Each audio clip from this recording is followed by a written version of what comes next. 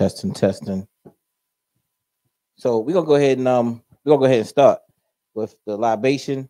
If you could, it's a very intimate crowd today. You know what I'm saying? If y'all want to come up a little bit closer to make it, you know, if you would like to come up a little closer, make it a little everybody won't be stretched out so much.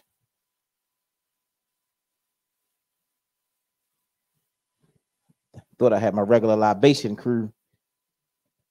Not here today. All right, and if you could stand, stand while we do libation.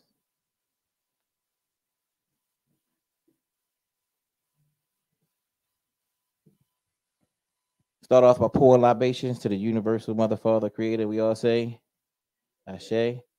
We pour libation to those directly in our bloodlines. Say Larry McDaniel, another. Lisa Wright, Charles Reynolds, another. Yours. Anybody want to shout out their fa- any family members? Ashe, Ashe, Ashe, Ashe, Ashe. We pour libation to those heroes and sheroes. I like to start with the Reverend Nat Turner. Ashe, Ashe. Brother Malcolm X, Ashe. Ashe, Khalid Muhammad, Ashe, Dr. Barashango, Ashe, Del Jones, Ashe, Ashe, Dr. Newton, Ashe, Ashe, Rough Mike, Ashe, Ashe, Madam Walker, Ashe, Ashe, Amos Wilson, Ashe, Ashe, Ashe, Ashe, Ashe. We pour libation back to the universal mother, father, creator. We all say, Ashe, Ashe, yo. Continue standing while we do the African pledge. Put your black, strong black power fist in the air. Repeat after me. I pledge allegiance to my people, the African race, the original man and woman of the earth, and the founders of civilization. I pledge to continue to struggle which will help to bring my beloved brothers and sisters to total freedom. I pledge to study and discipline myself mentally, physically, and spiritually so that I may grow into a soldier for justice. I pledge to live my life standing tall for a person on his or her knees is not respected. But if I'm challenged, that I must say that I will not surrender my position nor my dignity, but instead, but instead, but instead, we shall endure until the final victory is won. Ashe, Ashe, give yourselves a round of applause. Y'all may be seated. Thank you. And we won't hold the time up, but this was a very important event that we wanted to do. This in you know it's an intimate setting here today. Um, some we got the flyers out late, but if this day was just centered around having brother Professor James Smalls to go and visit my mom in the hospital, and the and the smile that he put on her face was worth everything that, that, that the day counted for. The smile that mom had on her face, and anybody knows that almost 30 days ago, mom had a stroke and so that's been a hectic, change my life type of 30 days. And it's been ups and downs, ups and downs, ups and downs. And Professor Smalls has been one of those people in my corner the whole time talking to him. How's your mom? Hey, look, give your mom positive energy. Don't give up on your mom. Don't give up, you know, because when you see that like right then and there, you kind of looking like, man, I don't know. You know what I'm saying? Like, I don't know what's going on. I don't know. It's looking bad. It's looking bad. You know what I mean? And you know, you kind of going up and down. And he like, hey, you got to talk positive to your mother. You got to talk positive. Give her strength, give her energy. And it's been those elders and people in the community that's been calling me every single day. And I appreciate every last one of y'all and all your prayers. Mom is progressing. I took my daughter there, um, Kamaria there today, and I didn't tell her that she was doing some things because last time she saw her, she was in ICU and not responding. and she didn't know what she was walking into today. She thought that's that's what she was walking into. When she got in there, she saw her eyes open. She saw her wave at her. She saw her smile at her, and she was pointing at her, and she was like, "Oh my God, she's doing it." You know I mean? So you know, so if today was to put a smile on mom's face with brother Small was to come in there, we appreciate that, and it you know it was it was it, that was beautiful. So I you know I, I I smiled when mom smiled, and she um she's been doing some things and you know so we're we we happy about that so give her a big round of applause just you know she'll she'll see this she's going to see this and she's going to hear this you know so um you know and that's what this that's what this thing is about it's december uh you know we're going into a, a new year coming up and um like i said i'm just thankful that my mom's you know i mean just just she she she fought from the beginning you know i mean and those that don't know when it was happening mom she knew what she, she knew was something was going on and the last person that was in her phone what she did was she knew because her husband had got has alzheimer's so he doesn't know how to work phones or anything so she knew that she had to get this phone call off and she got the phone off to the last person that was in her phone just left her house 15 minutes before and you know she got that phone call off I need some help. I need some help. Something is happening. Something is going on. Please call 911. You know what I mean? And so she got her to call 911. The lady came back and so she gave herself a fighting chance from the start because my sister wouldn't have got home to two or three hours later. That, you know, what I mean, that night had she not gotten that phone call off, you know. So that was a she gave herself a fighting chance, and she's been fighting, fighting through. You know what I'm saying? And uh, like I said, I do appreciate the elders in the community for you know for, for all that they do. You know what I mean? So Brother Smalls has been coming here to Tubman City for us for the past um 20 years. Um, he's been coming whenever I needed him. You know, we we call and he's here for the most part. Tried to get him the 21st. It was my mom's birthday on the 21st on a Saturday. So she wanted him to come around that time. See if you can get him to come during that time. But his birthday is the next day. So he said, I can't come that day because my birthday is right the next day. So she wanted him to come. So, like I said, she was excited about him coming, you know, back to town again. But he's coming, he's done all kinds of lectures and um, you know, and and been one of the spiritual God guys in my life, and we really appreciate and for the community. So we really appreciate this brother, the scholarship. He's been with Dr. Ben, he's been with Dr. Clark.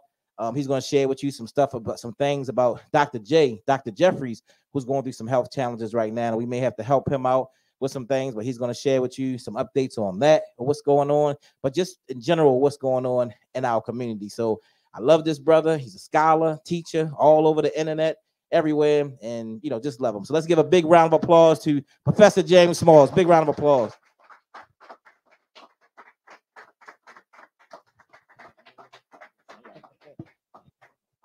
Hotel. So um, I'm walking slow. That's the new me. Know, they can do wonderful things with technology, right? So they took the one my mother gave me, threw that in the garbage because it wasn't working anymore. And then they put this plastic metal one in which works very well. Just when you first get up, you got to kind of get your rhythm, you know. So it's good to be in Baltimore again. This is an important city for us because this is one of the places where much of our revolutionary response to slavery started, coming out of Maryland. We don't talk about that a lot, but the African people in Maryland, you know, you're special people. And people don't understand the young people having some problems today, you know. Some of them against Pan Africanism, but that's not a good position to take because that means you don't understand that that simply means Black people united. Some say I'm against nationalists, but they don't understand that this means you own where you live and you control where you live. Some say, and I agree with them on the term if they want to use it, we're foundational Black Americans. That's true, but we also African Americans, and we also Africans, and some of us are Moors, and some of us are Hebrews, but all of us aren't Moors, and all of us aren't Hebrews. Matter of fact, some of us are Christians. Think of it, if we say we were Moors, an, uh, uh, an identity that we were wearing, some of us in North Africa, hundreds of years ago, and we can still hold that valid for much of the last hundred years. Most of us have been Christians. And under Christianity, yeah, I'm gonna take y'all someplace y'all never heard me go, because you need to go there, because we're not doing good where we're going, or not as good as we should. We've done some extraordinary good, but we need to really back up a step or two and study the African American Christian movement. Because it's clear to me, we and, and I'm guilty of that too. We want to evolve from someplace to someplace, but you got to know where you're evolving from to know what you need to evolve back to. Y'all understand me? My brother look at me like, what Brother Small talking about? You, you with me? Okay. Some of the greatest things that happened to Black America happened coming out of the Black church.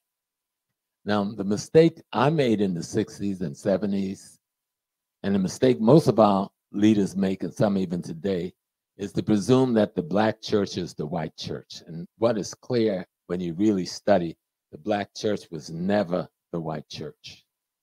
The problem with the black church is that the leadership of the black church think they're the white church. But the people of the black church was never the white church. That's what I figured out. Because almost everything that happened from the end of slavery, chattel slavery, to now somehow emanated out of that group of people who said we are in the church. I asked the young sister to tell me what to speak about so she wouldn't verbalize it, so I'm picking her mind. She don't think I'm picking her mind because she may not think about this until next week or when she go off to study next year. But the African American community, 90% of them go to church on Sunday. And even the Muslim and the nationalist brothers who are going to celebrate Kwanzaa will quietly celebrate Christmas before Kwanzaa.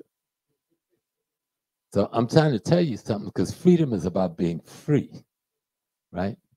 And if you understand who you are, then you're free. Dr. Asa Hilliard said true freedom is to be shackled to your identity. A brother from Nigeria isn't arguing about his identity. He says, I'm a Yoruba, or I'm a Igbo, or I'm from Benin State, and I'm from Nigeria. And he's clear on location. He's clear on geopolitical definition of his state. He's clear on his ethno-cultural space. As African Americans, we have a problem. Geopolitically, we are Americans. We don't want to be Americans. Well, get on a plane and leave. But if you don't get on that plane and go, you're an American. And people say, well, how is that? Because I'm going to get some feedback, but nobody give me no feedback because I can beat back any feedback if you live in a geopolitical space and you pay taxes there and you work there and you live there and you follow the laws there and you participate in the political process there or not, that's part of your geopolitical identity. That is your geopolitical identity. You could deny it if you want with words, but reality puts you in that space and place. Common sense says if you're in a place and you deny that you're in that place, then you're not living in reality. And if you're not living in reality, you can't solve the problems of your reality. Y'all got that? And then we say we're African. Yes, that's our race. Not only is our race, it is our ancestral cultural space. And in that ancestral cultural space is millions of years of history in that ancestral cultural space is millions of years of spiritual context and concepts that we can draw from. Because as this African America, Africa being our race, America being our geopolitical place, we come from Nigeria, Ghana, Mali, Morocco, Tunisia, South Africa, Congo, Kenya. We come from all over Africa and we merged into one African ethnic nation in North America. Somehow the world don't want to let us have an identity. Without having an identity, you don't even have a place from which to foundation yourself to fight when things come against you economically, politically, and culturally. And it comes against us every day. And we fight it, we've been pretty successful. Matter of fact, if you look at our fight, we've been one of the most successful African population in the world in the last 400 years in fighting against the genocide of slavery, colonialism, and straight out white oppression. No other African population. We're the fourth African population in the world. Nigeria is the first largest. Brazil is the second largest. Colombia, which we don't even think about, is the third largest black population in the world, uh, in a nation state. And then us in North America is the fourth largest African population in the world. But we in North America, we also the wealthiest African population in the world. Last year, we spent more money than the GDP of Saudi Arabia. We spent more money than the GDP of Canada. We spend more money than the GDP of the Soviet Union. But since we don't know that, we don't see that. We think we're poor, and we think we're broke, and we think we're impoverished because somebody else controls the narrative that describe us to ourselves because we don't know ourselves as a self. Y'all understand me? I don't want to be up here just chitty chatting because I didn't come to waste nobody's time. And I didn't come to sell you no program. And I didn't come to, how do you say, make you feel good. Because you can go do like me and get a little kvasia and do that. Or you can get a little ganja and feel even better, you know. But I want to say something to you that you can say to others, right? About what's real, right? And saying what's real isn't popular because people don't want to feel what's real. Because what's real make you want to change what is. And people don't want to change what is. But just remember the term true freedom, this is Dr. Asa Hilliard, is being shackled to your identity. As an African American population from an old African American settlement, Maryland, what is your identity? Who are you? See, a label isn't an identity. The label must describe something. So I can say I'm foundational Black American, but what does that mean? Because if I say I'm foundational Black American, then my ancestors that predated Columbus, and you can look at my face and tell me, like some of you, I got ancestors that predated Columbus. I used to clean their grave when I was a child. They didn't bury in the ground, they buried in the mounds. But they weren't Asiatic red people, they were black people in South Carolina. This before the Gullah Geechee culture developed. There's an older culture there. They're the foundation of Black Americans.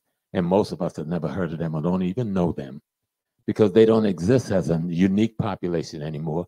They married into the rest of us and became the African American. So you need to read and study that. There isn't a lot of works on that. But um, David Imhotep's book, The First Americans Were Africans, is a good source. Ivan Van Sertima, that came before Columbus, is a good source. And then look at their bibliography.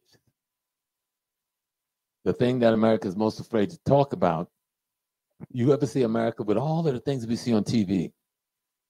They'll talk about anthropology and archaeology from everywhere in the world, but not here.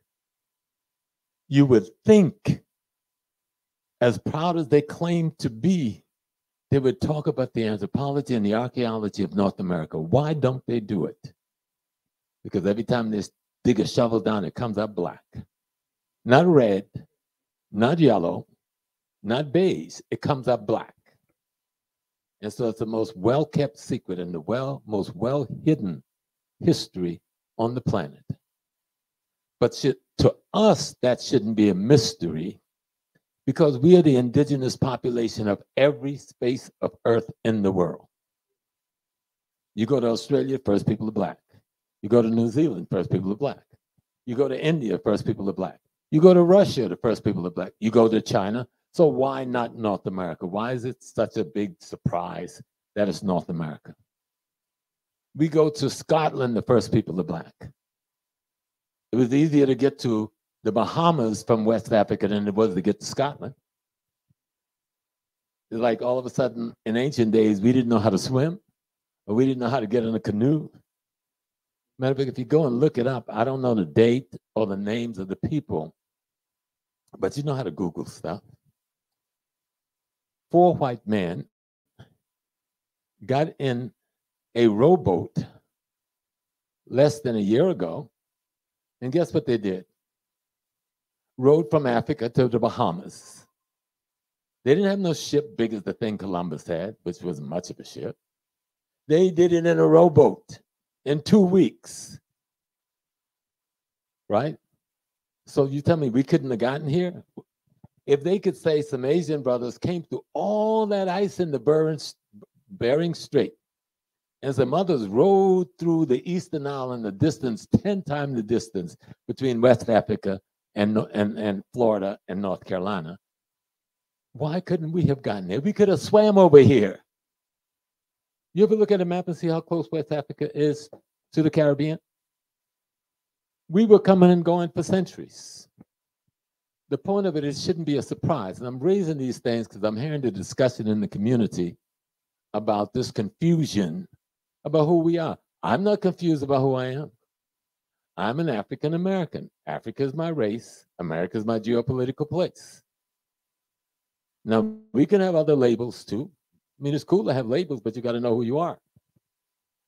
We, either we came on the ship with shackles from Africa, or we came in the boat on our own from Africa, but we still came from Africa. So that non African foolishness we're hearing in the rhetoric of so many people is childish and foolish. Yeah, Tariq, I'm talking to you, and I love you. You know you're my son, but I've spoken to you about this. You know, I've spoken to many others who are doing it. You're the most powerful. You have made yourself powerful. The ancestors and God gave you power in the media. Carry the right message to the people. That's why you were given that power. We talk about libation and ancestors and all of this stuff. We don't even believe that. Most of us. We're playing. And until we stop playing, they're not going to help us either the ancestors is real or not. I'm gonna take my little brother. He just walked in. He got on a pretty black hat. How you doing, son? You know the ancestors is real, don't you? And you know you are they, don't you? When your mama and daddy gave birth to you, they gave birth to themselves, didn't they? And when they were given birth to, they were given birth to by your grandparents who gave birth to themselves, didn't they? And then your great parents gave birth to them who was giving birth to themselves, right? And you take that all the way back to when God first become a human, and that's our major and primary ancestor. So we are the ancestors we just poured the libation to. That's African culture, that's African high science. If we understand that you can never stop being what you are, ever. It doesn't matter whether you get a little light skin here, a little brown skin there. We were light skin and brown skin before we met white people. Look at our history. Look at the cave paintings. Go back as far as you want to go. We had every one of these shades then. We had eyes as slanted as anyone from Asia, lips as thin as anyone from Europe, going back then, and lips as thick and beautiful as anyone from West Africa, going back then. Dr. Nobles coined a term, but he first threw it out, and I picked it up. It's called know your history and you get rid of the mystery. A lot of us read books that have exciting topics and, and, and uh, written by dynamic people, but we don't study history. I'm talking timeline history. Let me go as far back as the BC as I can get, and let me come up and as far as the AD as I can come. I want to know the history. I want to know the family tree because that's what a history is. It's your family tree. And we can take all the names. Remember, Nigeria, Ghana, Tanzania, none of those names existed 100 years ago. That's all new stuff that Europe put on us in 18, after 1885, 84. So we're just African. When we left that continent for the Caribbean, for Central South America, and North America and those chains, there wasn't a single country in Africa now, I mean then, that's there now, except Ethiopia. And Ethiopia at that time was not a country. That's a myth, too. Ethiopia is a Greek word, not an African word. And it wasn't the country, it was the Greek reference for the entire continent. There was a place named Aksum, a kingdom in, in East Africa, which is now called Ethiopia, in the way the place in West Africa is now called Ghana or the old Ghana. So when we left Africa, it was just Africa. So it's not inappropriate to say we are an African American. It's not inappropriate.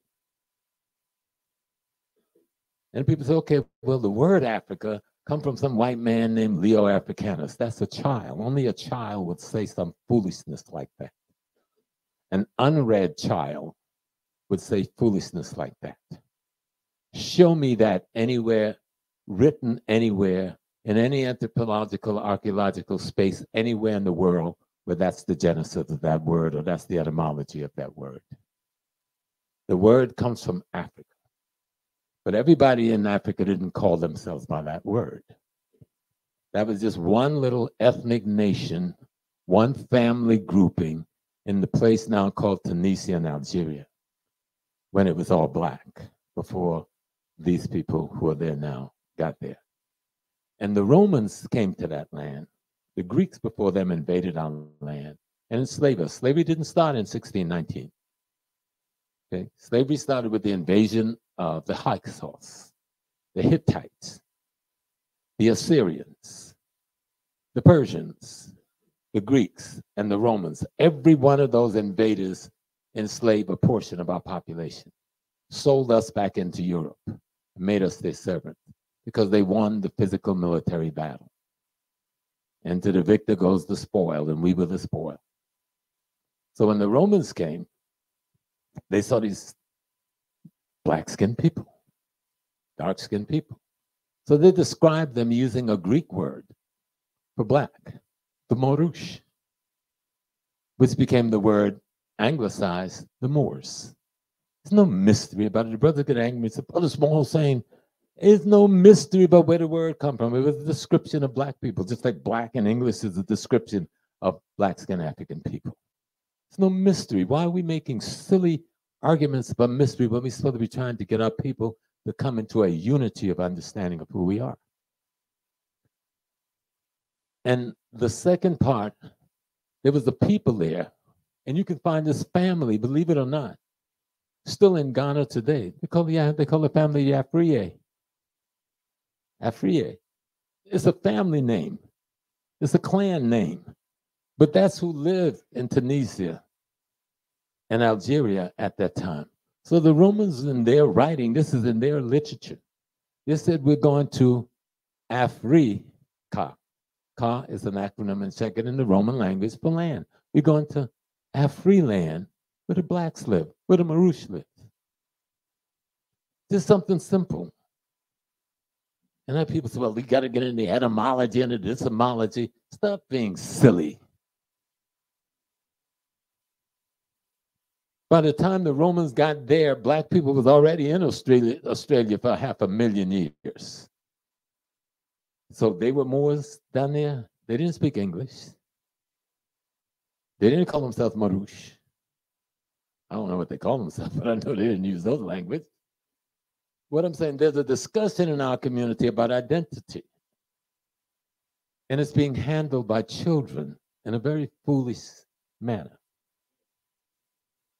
But it's disturbing the spirit of the young people who are trying to find out who they are. Okay? And it's up to us who've been around a little longer to put our foot down and not listen to foolishness and speak on it. if you study any African language, they have one word for themselves. And that word is God. A word people are scared to say because in, in the English Christian Judeo Islamic thing, and I've been in all of them already. I was an imam and a preacher and everything else. They make us afraid to associate ourselves with God. But if you look at the in the African language and the mother tongue, which is called the Bantu tongue, and everybody trying to make that the lesser tongue. No, that's the mother tongue. Even the tongue in Kemet is not the mother tongue. Medu Neter is not your mother tongue. That is a derivative of the mother tongue. It is only famous because in the dry desert and the rocks, we were able to sustain the history. But guess what? What's on those rocks and the tombs and the paintings and all of that, as magnanimous as it seems, is not as powerful as what's in the language, the rituals, and the culture and the belief system of those in West and Central Africa. because that culture is embedded in the mind of the human beings. Comes out in the language, the dance, the song, and everything, the structure, how they raise the family. That is the culture of the world, the culture of God itself. Now, tying things to God, because I want to come back to why the African American Christians should not be demeaned as we and me included have done in the past. We don't demean no other group who have taken on Western religion to survive. But somehow there's a demeaning of the African American population that is unreasonable. And I don't want to any longer be a part of that unreasonable demeaning of one of the most magnificently fighting populations in the world. We're in the house of the devil. We're not in the devil's plantation where he's got a few of him there and a maximum of us. We're in the house of the devil as a minority and we've kicked his ass. And no one wants to give us credit for it. Yet everybody eats from the table we've set with our blood. And we're afraid to defend our blood that everyone is eating. Y'all understand me? I know people are hearing me all over the country. So cool. Y'all understand me because if you hear me, you understand me because I'm a simplistic speaker.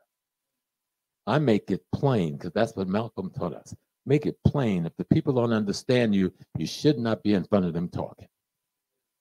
Make it simple. This question of identity is important because our kids should not have to go into universities and into schools and be demeaned by other people, even others that look like them, on the question of identity.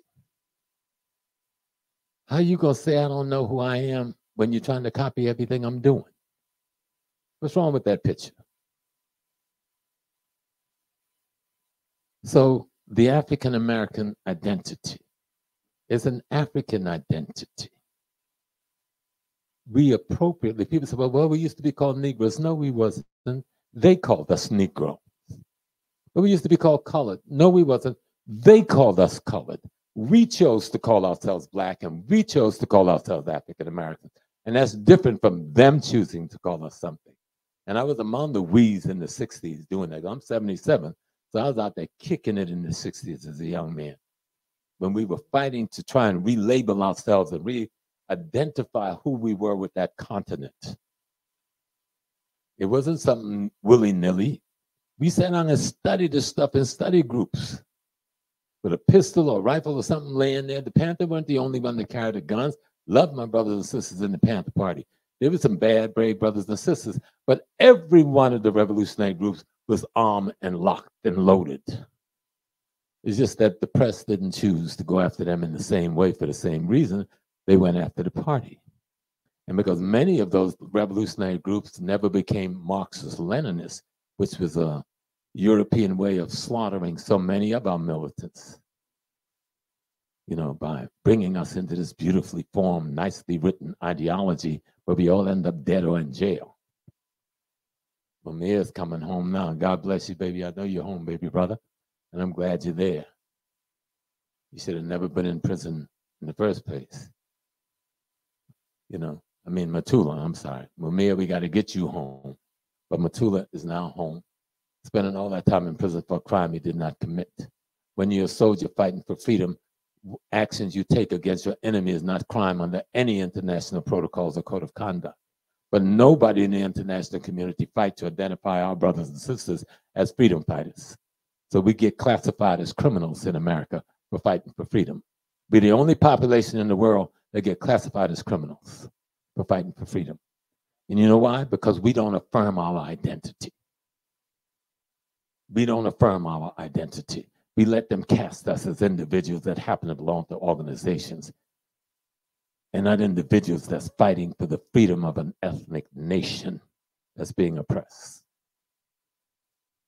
I would guarantee you, anyone that does the work will find that the population in North America have the largest cluster of African gene pool than any other clusters in the world.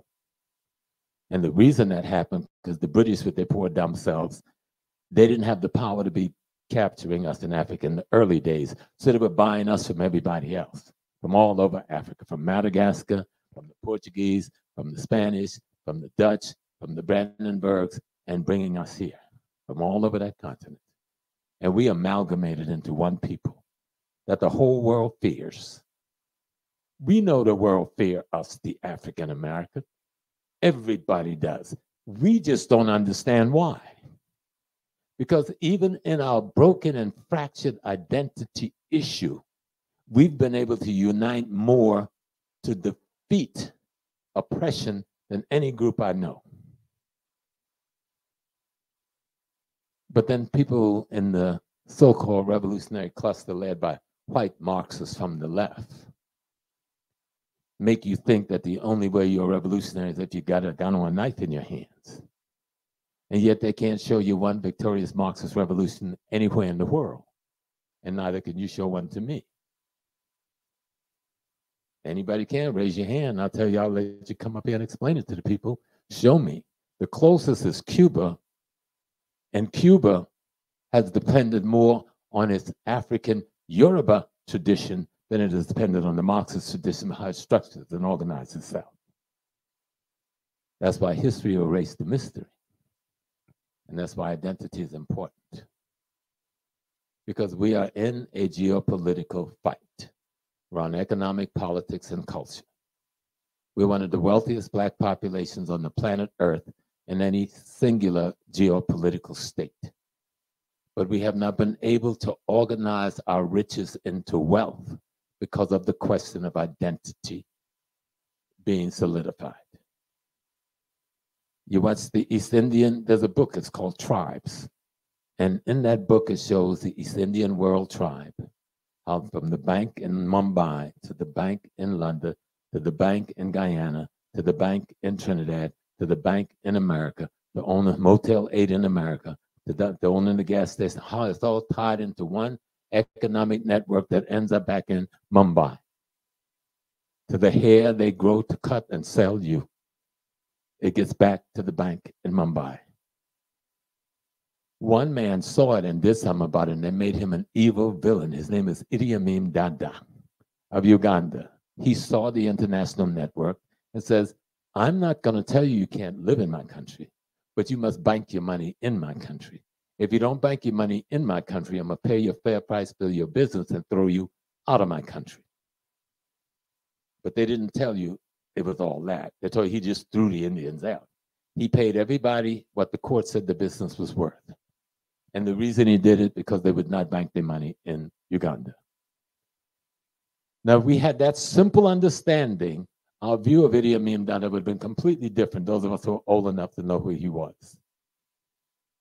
Thank God he was able to escape to Saudi Arabia and live his life out. But it was Idi Amin Dada who said that the problem he had with the Jews in Uganda was that if they stayed in Uganda, the Ugandan would end up poor and they would end up rich. And most people don't know before Israel was the settled place for the white European Ashkenazis. Uganda was the land the British gave to them to make New Israel. They had already begun to migrate there before they went to Palestine. So when we understand history to erase the mystery, it makes things clear, shows you the picture a little better. But back to our identity, and then we'll talk about some of the contemporary stuff, because this identity thing is very important, right? Young man right here, you're not even a revolutionary all his life. And you still questioning who you are. Are you? Well, don't worry about mine. Do the same thing. I had one that wanted to be a gangster.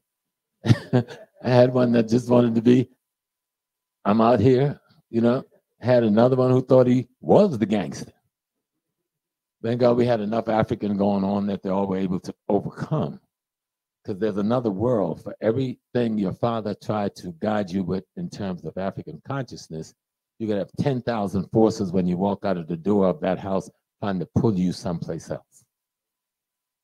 And our job as your parents is to come out there and raise hell to pull you back, whether you like it or not. Right? Because it's a question of identity. Who are you? You're God having a human experience. Let's go back to the African language that I left a while ago. If you look at the word for people, person, place, or thing in all African language, you will find that in its prefix or suffix, the word for God is in that word. the, you know, the prefix is the first part of the word, suffix is the last part of the word. No matter what, the words that mean person, people, place, or thing. And in all African language, the prefix or the suffix is the same word they use for God. What does that tell you they were saying about themselves in terms of identity? That we are the God people. We are God people. They didn't label themselves like we did today, like a country of uh, America or England or Nigeria. They were just people of the earth. That's all they were. They, whatever the word for earth was, that's how they, that's what they meant by their land. What was the thing that they saw that made them peculiar in their bonding? It was their culture. Now, the word culture we know in the English language come from that to cultivate. What does cultivating mean? Is I grow something, the thing that grows things. So, what cultivates a human being? What grows a human being? It's the knowledge of the earth. Everybody in here is made of dirt. Did you know you were made of dirt? You sure? Caesar, yeah. Yes. Every bit of food we eat comes out of the dirt. And if you decide, well, I'm I had a little piece of beef this morning, which I did have a little piece of beef this morning, right? Guess what? The cow eats grass that comes from the dirt and earth, fueled by the sunlight from the cosmos, right? That's what I would say ashes to ash and dust to dust. We are really dirt, empowered by the fire of the energy of the universe with the sun being the hottest bit of the fire, but we receive all the light. We receive the light from Mars, Jupiter, everywhere. We absorb some of those light. Take a million years to get here, we still suck up that light. That light energy and this matter, this mineral energy in earth, the combination of that is what the Africans call God. In most of their language, they refer to what we call God as the totality of creation. All that can be known about all that is. And in African cosmology, you will not see a beginning and you will not see an ending because no such things exist. That's in our mind to silence our fears. So we have to create boundaries. There's no boundaries. There is no beginning. The possibility of the concept of what we call the beginning can't be imagined if you look at the universe. And we are a planet. Are we not aliens? We float in the same space with all the other planets. You know? But they don't let us think. They make think that we're on some stationary little spot and we're looking at the planets. No, we're flying around in outer space like everybody else and everything else in existence. And the Africans understood that. So they always saw the divine as every and all things at once, including us. That's the simplest way to put it. That each of us represent an aspect of the divine essence having the human experience in our own peculiarity. You could be twins, identical, but there's still something peculiarly particular about each one of you that's not there with the other one like that finger. Millions and millions of cells make up that little finger, yet they're not bumping into each other. If they get confused, I dissolve, right? Through disunity, not knowing that my unification around understanding my purpose. My purpose is to produce this instrument called a finger. And so when it comes to the identity of a people, that's the way you have to see yourself. That's the way you got to understand and know yourself. Unity is the greatest power we could have. And we have more of it than we think we do. We are so big, we are big people, right? We're the fourth largest African population in any nation state in the world. They tell us that we're 45 to 50 million. Then they'll say, but we didn't count one third of you. What does that mean? How you gonna tell me I'm 45, 50 million, but then you say in the census we miss one third of you? So I'm 80 million plus then, if we're gonna be real. We're already the majority of America, except we don't know it. Let me show you a secret. Say they said the Latino make up, we make up what? 13 to 14 percent. The Latino population make up about 20 percent. But we know they never really did a real census of the Latino population. Forget about that one. And then they admit they only they miss one third of us. Now try to factor that in. We're gonna be play mathematicians. And we're gonna factor back in. We want all of the black people that speak Spanish, that you call Latino, to be black people like the rest of us. All right. If I come from Africa and I speak English, you count me. But if I come from Africa and I speak Spanish, you don't get counted as the black population. Do you realize that? And we're the only group that don't have their people counted because the language is different. If you come from England, you're white. If you come from France, you're white. If you come from Italy with your mixed self, you're white. If you come from Germany with a different language, you're white. But if we come from Puerto Rico, black as midnight, we're not black. That's why they put that little caveat in there Hispanic, non white.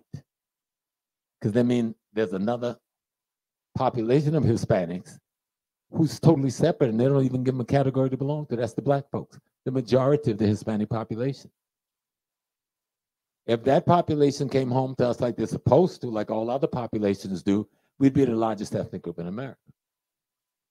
Right now, they acknowledge that we are the second. The Germans is the first. Remember, white Anglo-Saxons, people you call Englishmen, those are Germans. All right? We never, we forget about history, right? Remember the Anglos and the Saxons? They invaded those islands. They're not from the place they call Britain. They invaded the black people who were there, the Scots and the Irish, the mixed groups, and messed them up. So we have to think in terms of our identity. And we got it pretty good. We don't understand what we've got. We got all these sorors. How many people is a soror in the room? Raise your hand. Belong to a sorority?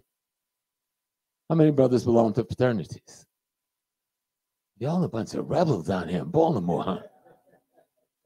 But if you know, all of those sororities and fraternities have a flip side. That shield, is, if they flip the shield, it's got an African symbol, most of it Kemetic. They're hiding the secret. Why are you hiding it? We're free now. Why do we still have to hide that you're an imitation of things black? And you're not a Greek ordered fraternity at all. Never was. So we took the illusion and made it the reality, and we keep the reality hidden in a secret. Come back to the black churches around this question of identity. It wasn't the black church and Christianity that was so politically powerful. The thing that was politically powerful was the Freemasons, the Prince Hall Masons, working through the black church followed by the Knights of Pythias and the Oddfellows, the Eastern Stars, the Daughters of Ruth, and the Daughters of Tent. Organization we know very little about. How many people have ever heard of the Daughters of Tent? One. This is a very powerful group of sisters that came into being shortly after the Civil War. And some of those orders still exist. I know there's one in Brooklyn, New York. I'm sure there's down in South Carolina and other places. Most of us know of the Eastern Stars because the Masonic wing got so big. So we knew of this of the stars, but we don't know how powerful they are. So what we have to understand is that this people, that that part of Africa that we call Freemasonry, but true Masons know that this comes right up out of Africa. And this is, how do you say, our ancient part, a part of our ancient management system. So it's important to study your history as African Americans. And then you be able to get rid of the mystery that other people have placed on us. And then we'll have more respect for the leadership that we have. Because almost every one of your male leader from the 1740s to the 1980s no matter what denominational religion they were, were Freemasons in Prince Hall. something worth studying, something worth looking at. And there's a good book out called The History of Black Masonry. Forgot the author, but I'm going to send it to you and you can share it later. And I'm saying this because people want to take away our identity while reaping the fringes of our struggle. Not just other people of color who are doing it out of desperation trying to survive, but we support them. That's family. Come on in. We're going to have a conversation so we can get a right relationship. But white folks do it too. White women are the biggest recipients of affirmative action. White families are the biggest recipients of food stamps. White families is the largest group on welfare. You name anything we battle to make this nation do for its poor and working population, and white people are enjoying it more than us while calling us ugly names for even trying to get what we deserve, even when we are underserved by what we deserve. And one of the reasons we're not able to take the stance we need to stance is that common identity that let us know you mine. The Yoruba had a word for it. They call it Lukumi. Some people don't have a problem. Oh, brother small, that's a religion in Cuba. The word Lukumi is a Yoruba word that means you belong to me and I belong to you. When the slave trade was going on, there was no Nigeria. There was no Yoruba land like we know it today. The Yoruba ethnic nation was all over West Africa. It is today the largest ethnic nation in West Africa. And when the slave ship would pick up our people at different ports, they recognized each other from the scarification. And they knew who family was. The scarification was also their written language. The West called it scarification, but it was a language. And when people saw their people, they said, Look on me. You belong to me. I belong to you. That's all we got to say. Look on me. I'm ready to die for you. You are also ready to die for me. And that's the kind of an attitude the African American population needs to develop. That attitude of look on me. I don't care if you're Baptist, you belong to me. I don't care if you're Muslim, you belong to me. I don't care if you're Methodist, you belong to me. I don't care what sorrow you belong to, you belong to me. And we haven't gotten there because we haven't solidified our culture. See, everybody have a culture. Culture isn't something you bring from one place to the other. Culture is something you build on what you brought from one place to the other. Okay. We brought what we had at home, but we came to a new ecology under new circumstances, under new conditions so we had to recreate new ways of responding to our environment. We had to recreate new ways of responding to the other human beings who are not friends down there, our enemy and they're practicing genocide against us. We have to find new ways to teach ourselves how to survive, both in the social ecology, the, the psychological ecology, and the physical ecology. And those things that we use to do that, our dance, our music, our dress, our talk, that's what you call culture. Culture is everything that a people do to sustain themselves in the environment in which they find themselves. That means some of the old stuff, the no use stuff when we got here, we had to throw them out. Then we had to create some new stuff to meet the challenge of the day. And Black Americans have not consolidated that yet. We have not pulled it together. We should have a holiday, which means holy day, special day, which represent an episode out of your history for 365 days. Now, some may be big days, you know what I'm saying? But we said we ain't going to work today. None of us. And some may be things we just celebrate in our house or celebrate on the weekend. But that's one of the first steps we need to do is to make each one of the 365 a holy, sacred day. And if you study Africa, every single African population had a specific thing for a specific day, 365, or how many days they celebrated. And they usually call those things gods when the West, new people look at it. But what they were talking about is on each of these days, we will celebrate an aspect of the quality and attributes of the human character that we imitate from what we call God in developing ourselves in the process of life.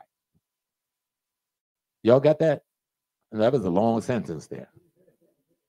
You got that little one? You sure? Okay. Because that's an important one, right? And what's important about this, we've been in a war, but we don't realize we've we've been in a war in America. We're still in a war in America. And it's not a war between black and white. It's a war between right and wrong, good and bad. And we've been the ones trying to do the good and the right. And somebody's been doing us very bad. But they've made the bad the right thing. And they made behaving good the wrong thing. And we haven't quite figured out how to carry out the fight because they constantly try to goad us into behaving as they do. We're never going to win the fight becoming the demon that they are because they're the best demon there is. You're not going to win that fight. And that's why we've been hurting each other and shooting each other and doing the things we're doing because we're trying to respond the way we think the power responds. But that's not real power. There's only real power if you give them that power. But fear makes you see that as power because it took away from you your sense of what is life and what is death. And once he puts you in that little box and frame it, he said, I can take away your life and put you in death unless you do what I want you to do. But if you knew there's no such thing as death, and what he's calling death, each of us will meet no matter what one day anyway, and nobody know when, how, or why you will meet it, then you'll have a different attitude about life and how to preserve it.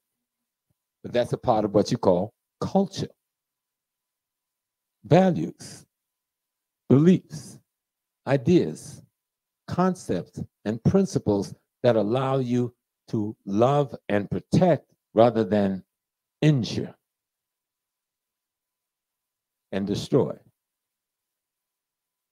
That's the war we're really fighting. And that's a hard war because in this culture, they haven't allowed us to see it that way. In our cultures at home, for instance, like I, I practice the Yoruba tradition. I practice all of them. You can learn a little something from everything. I practice the voodoo tradition. They got some good stuff up in there too. I even look at the Christian tradition. They got some good stuff up in there too. But in Yoruba tradition, and I always tell this one story. I'm a priest of what you call Oya. Oya is one of the Orisha. Oya represents the wind.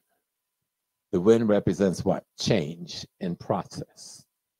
So oh, Oya is symbolized by a woman with locks.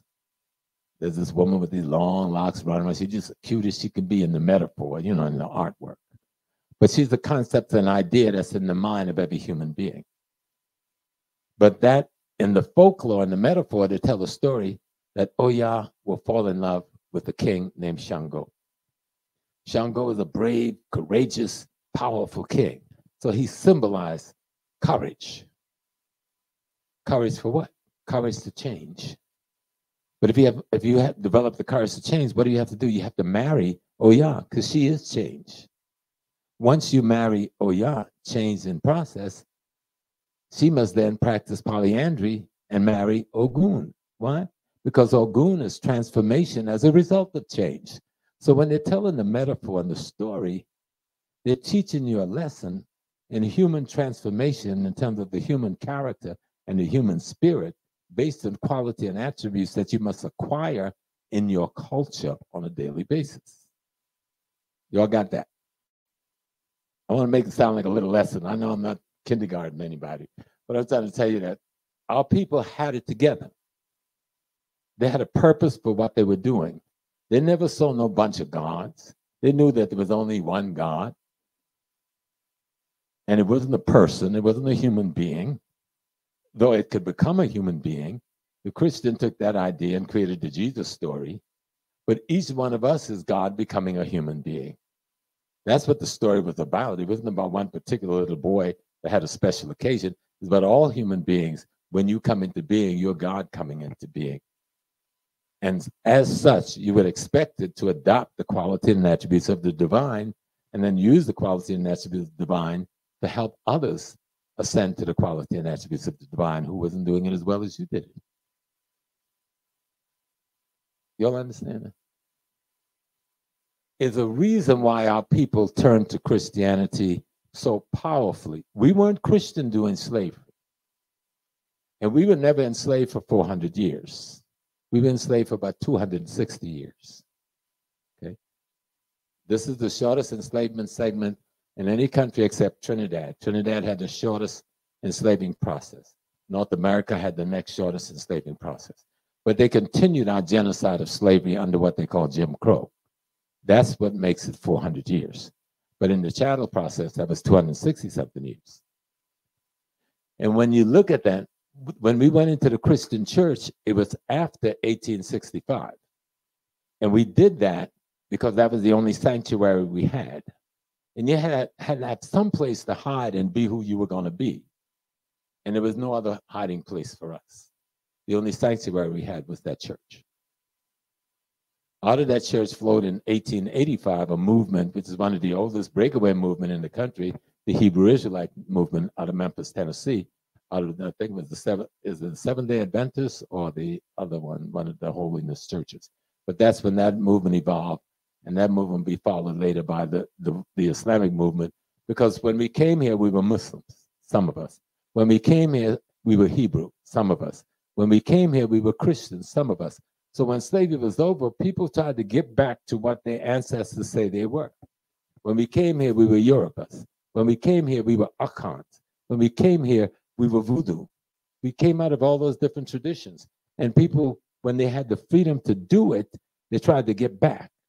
But the safest place to be an African was the church.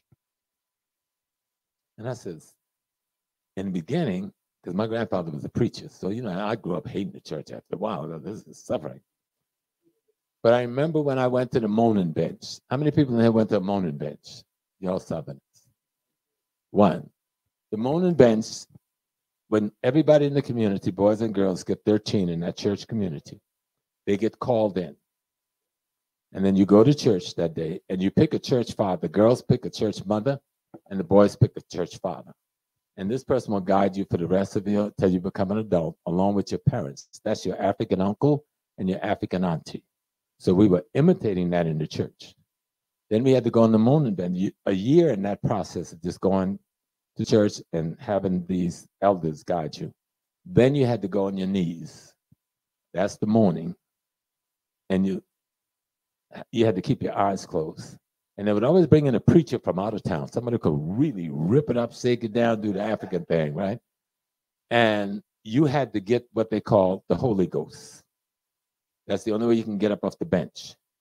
That is spiritual, um, what do they call that? Taking over of your body. And you got up shouting and dancing and doing all these African dance you never knew you knew. And they knew you couldn't fake because they were deacons and deaconess there to test you to make sure you weren't lying, that you really had, they call it the grace. But in Yoruba tradition, we call it being possessed by one of the divine, right? So when you came up, then the whole church celebrated you and you were set in a different, until everybody on that bench got up in that age group. And when I read Facing Mount Kenya by Jomo Kenyatta, it was all there. So, oh my God, Papa and them, they didn't know nothing about no Jomo Kenya. They didn't know nothing about the Mau. So how are they doing this? They brought it with them. And they hid it in the church. And they disguised it with a Christian cloak. But it was the African age group set. It was the African initiation set into manhood and woman, like the Poro Society in Liberia and Sierra Leone still do till this day but they only had the space of the church to do it in. So when we go to that church, that's where we buried Africa in America because that was the only safe haven allowed. And we where we buried the leadership guidance is with a beautiful black man in Boston and his comrades called Prince Hall. Do the research, and you'll find that you have nothing to be ashamed of as an African American nothing, then you'll find your real power. Then you'll find Africa again. But you then have to study Africa because, see, when you look in the mirror, Africa is the mirror. That's where you see a reflection of yourself. If you study the African culture, before I studied African culture, I didn't know what the Mourning Bench was. I didn't know that was Africa hidden in a Christian. White people ain't got no mourning bench. They didn't march through the community in white like we did and go to a river and be baptized. The baptism wasn't the essence. It was the marching through that community, receiving all those gifts and all those praise from your family, because that's where the kids who came back from having spent months and even years in the secret society being trained, when they came marching back in that community, how they were praised like young gods and goddesses. Coming back home now as adults to become a part of the greater adult population in the community. We didn't lose it. They did not take it all from us. I'm gonna tell you another one of the story, and then I want to come and talk about Brother Kyrie and, and Kanye for a minute. I was I grew up in the country, so you know in the woods, when church is on Sunday, when you clap, you can hear it for miles. It just reverberates through all the trees, and it's a beautiful sound. You just hear the vibration through all the woods. So there was one rhythm that I just could never get out of my head. It was bump, bump, bump, bump, and I learned to play it on the drum. I thought it was just my thing. So when I go to Africa and I go to find my first djembe, it was a Friday. And all the drums is up on the walls and stuff, and the brother, but there was no brothers there except the brother who brought me. And so it was Juma. So the brothers had all gone to pray. So I started playing on the drum, right? Only rhythm I know is what I heard in the church, reverberating through the woods. People came running from everywhere with sticks, with bricks, with rocks. And I'm thinking, they're thinking I'm trying to steal the drum. And I'm an African American. My second trip to Ghana, don't know what said I've even touched these people drum. But the brother with me started yelling to them, yelling to hit them that I was an African American and I wanted to buy this drum. And I wasn't and then they explained to the brother why they came. They came because the rhythm that I was playing, that I heard bouncing through the woods, coming from the church on Sunday, it was a rhythm that was, um, how, how the best way to put it? It was a call of distress. It was saying, I need help. I, I'm, I'm sending out this distress signal. And that blew my mind. If anything ever made me make the 180 to being an African, it was that occasion. Then I realized that my people were not fools, that my people had not lost Africa, that everything was not taken away from us. We hid it in plain sight and called it Black Christianity. Yes, we brought the framework of white Christianity, because white Christianity comes out of the ancient Nile Valley black Christianity to start with. So it ain't really that big a deal. And then when I started studying more later, and this is for the general public so they understand me, my Christian brothers and sisters, the Catholic Church is a thousand, a thousand years younger than the Ethiopian church, than the Sudanese church. Isn't that something? All of the Protestant church was given birth to five years later by the Catholic Church, which make them 15 years, 1500 years younger than the Ethiopian church and the Sudanese church. Do you understand what I'm saying? See, we got ripped, then played, right? And then we played ourselves in our ignorance like I did when I was younger, because I didn't know any better. I thought that was theirs. It's like somebody take my little Hyundai, that's great, nice little Santa Fe Hyundai, rides really good, and paint my gray Hyundai blue and drive right up to me and ask me if I want to ride. And I thought I'm riding in their nice little blue Hyundai. But I'm really riding in my nice little gray Hyundai that they kind of innovated on and called theirs.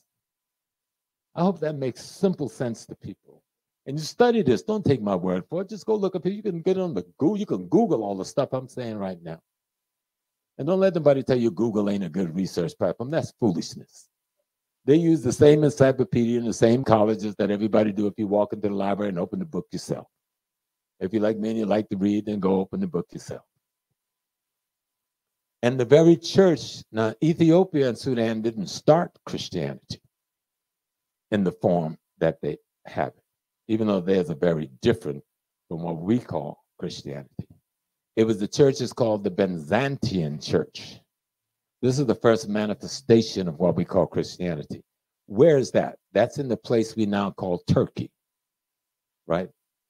But there were no white people living in Turkey then, it was only black people. Now they call the Byzantine church, the Byzantine church, now they call it the Eastern Orthodox Church. You'll understand me? You got to play with the history because you see how they hide it and make it a mystery. And once you get the history, you remove their mystery. All right? And so the church didn't go north because these were not northerners, these were black people. So when the white invaders come from the north, the church ran south into Ethiopia and into Sudan and into Egypt. You understand me? And it became the Egyptian Coptic church in Egypt. And if you go to the Egyptian Coptic church today, every statue in the ancient time of, of the Christ figure and his family and the disciples and the mother, so they're all black. While you got all these white Arabs worshiping there, all of the images of black people. You go to the Soviet Union, they got more black Jesus and Mary up in there than, than they got white people in the Soviet Union. It's just studying history, remove the mystery, and let you kind of put things in a different context. And when you put a timeline on it, you say, wait a minute. When Martin Luther do his Reformation that started the Protestant church movement, which is what most of our people are into in the Western world today and in Africa, the Ethiopian and Sudanese church was already 1500 years old. So who's Christianity? We have, yeah, we got to clean it up. You know, like somebody take your boat and mess it all up, and you got to take it and wash it out and clean it. But whose boat? Who built the boat? right? They may cut the sail off and put a new motor on the back or something. You got some rearrangement to do. But if you don't understand the history, you get trapped into their mystery. I'm just telling people how to free themselves. You want to free your mind. So it'll free your behind. You got to study history, erase the mystery. And let's start with the church. You will find if you really got serious there's more African in that church than there is Europe. But you have to go looking for it, and you can't look for it unless you study Africa first. So you can see yourself, and when you turn back in the church, you will identify yourself. It's very important because our people ain't gonna walk out of that church. I can tell you that now. I've been out here recruiting for 60 years. right? My sister said, James, we love you. If you going if you come to visit me, you're going to church on Sunday. What am I gonna tell my sister Fruity? I ain't going to church. No, that, then I won't eat that day. You know what I'm saying? I'm going to church, and sometimes that music gets so good, I feel like getting off into the Holy Ghost because it's all African rhythm. It's all African rhythm. We got some of the modern stuff, but you know, dealing with the European um, non-Socratic stuff, but most of the rhythms in our church are African rhythms. All right. And in our music that flow out of that Af- those African rhythms, you know, our blues music, our jazz music, our bebop music, our rap, rag music. Hip hop is not something new. Hip hop is just the, was just the next step in a process of people explaining themselves through rhythm, using what tools that was available. By the time the 70s and 80s came and they took all the horns out of school, the bands out of the schools, got rid of the drum and bugle scores in the street. Kids had no instrument, had no music. God said, I will speak through you with your tongue. And that would make music enough for the world. And hasn't it done so? But it's the same African rhythm because all music is is your externalization of your vibration that you ex your internalization vibration that you externalize for others to harmonize with. You know, you make your little beat, and I'm hearing, I'm sitting for another. Well, yeah, the iron in her just hook up with the iron in me. The zinc in him just hook up with the zinc with me. The manganese in her just hook up with the manganese in me, and we all feeling the same pulsation. It sounds good, no matter how we rearrange. It's all African musicology. But the point is, y'all get the point. That we have nothing to feel ashamed of being an African people under no conditions, no circumstances. We have nothing to be ashamed of being African American people. People say, well, y'all killing so much of yourself and all the shooting in the streets. If you had on your head in another country what we've had on ours, you'd be doing a lot more than what we're doing in the streets. Because 97% of our people ain't in those streets shooting nobody. But we don't even have a conversation about the 97%. We only talk about the 3 or 4%, and we try to use the 3 or 4% to define the 97%. And we've got to stop doing that. How many of our children go to college every year? How many graduate every year? How many go in there 13, 14, 15 years old to college every year? How many are coming up with A's across the board and all this? Nobody talks about them. You want to show the world, you pick up the one that happened to be beaten down by you, that's been abused since there was a child, a young girl that's been raped since she was 10, 11, 12, 13 years old, that been mutilated before she ever thought about becoming a woman. And then you're going to take her experience as a woman and try to define the entire black community by not addressing the fact that you've been murdering and mutilating that child for a decade or two. Or you take a little 14 year old boy and you throw him in prison for crime he didn't commit because you want to meet your arrest quota in Baltimore or New York. Then he goes to prison and gets raped and molested and beaten and brutalized and frightened out of his mind that he hates everybody, including himself. And in that hurt, pain, and hopelessness coming back out here, he can't get a job because he's felonized, he can't vote, he can't be, even be a citizen. And he turns to violence out of fear and hatred and misunderstanding. And you're going to make him the criminal? You better check yourself. Because those kids are going to become the gods one day. Because we won't look at history so we can erase his mystery. Then we can help our children. But you got to know history. You got to know history to erase the mystery. We got to look at these young people. They say gun violence. They ain't no gun violence nowhere in America. I've owned a gun since I was my first gun. Mom and them gave me a 22 long pump. I was 14. My second one, which is one I love, is the two-shot Derringer. That was my 16th birthday. Okay. My 18th birthday, I bought my own gun. There's never a time when I did not own a gun as an adult. My gun ain't shot nobody. Guns don't shoot people, people shoot people. Minds and the bodies of people shoot people. So, what is wrong with the minds of the people that's shooting people? And who made those things wrong with those minds? And that's where you go to solve the problem.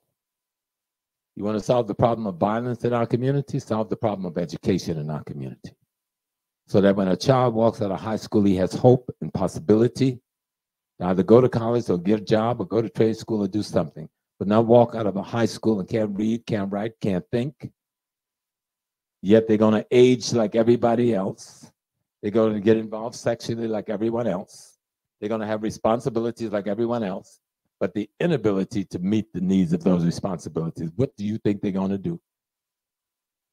what any population in that condition have done throughout time.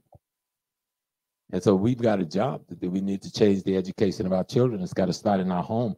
Nobody else going to teach us our history. So we can erase the mystery. We got to teach that in our homes.